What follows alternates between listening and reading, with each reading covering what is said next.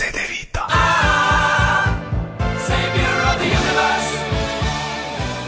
za ambicije Zagreba što Šarlija im nije na raspolaganju. Zupčića je Bilan potvrdio u kutu.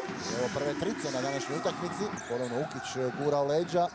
Pronalazi otvorenog suigrača. Ide nova Zupčićeva trica. To je sada velikih 12-2 u Vučić.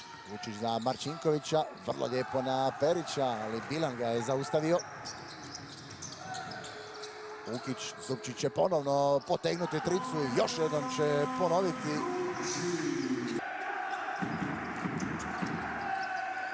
Zupčić još jednom za tricu još jednom pogađa. Tomislav Zupčić, ova odluka da s njim krene na poziciji niskog krila se pokazala.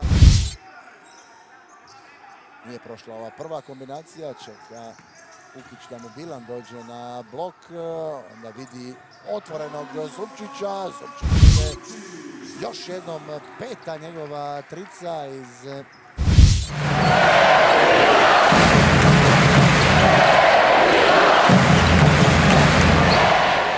na, na Milekoviću, Zupčić na trici i prvi njegov